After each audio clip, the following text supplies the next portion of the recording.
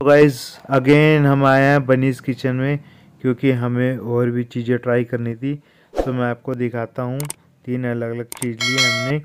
ये है एक पिज़्ज़ा पफ दूसरा और बताता हूँ। ये है सेकेंड नंबर पे मैक्सिकन राइस बॉल ये है मैक्सिकन राइस बॉल और अंत में तीसरा है तंदूरी सॉस पास्ता सो सबसे पहले मैं ट्राई करूँगा पिज़्ज़ा पफ को।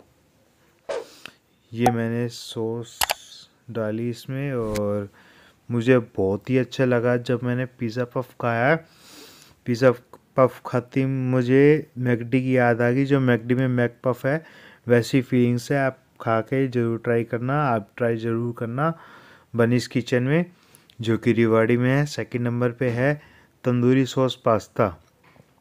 ये भी खाया, अंदर बहुत सॉफ्ट था और खाने में मज़ा भी आया यार। पास्ता भी ट्राई कर लेना अलग अलग चीज़ है, बहुत चीज़ मिलेगी बनीस किचन में और तीस नंबर पे मैक्सिकन राइस बॉल है। सो इसे भी टेस्ट करके बताते हैं आपको। सबसे बढ़िया इन्होंने बताई, मैंने पूछा सबसे बढ़िया राइस बॉल कौन सी है? तो इन्होंने बताया कि सबसे बढ़िया मैक्सिकन राइस बॉल है तो अब मैं इसको खा के बताता हूँ। मुझे बहुत ही अच्छा लगा जब मैंने इसको खाया था। सो कभी आप आना बनीस किचन में, ये चीज़ ज़रूर ट्राई करना, खास करके मैफ हमारा चैनल को सब्सक्राइब कर देना, अगर हमारी वीडियो अच्छी लगी तो थैंक यू।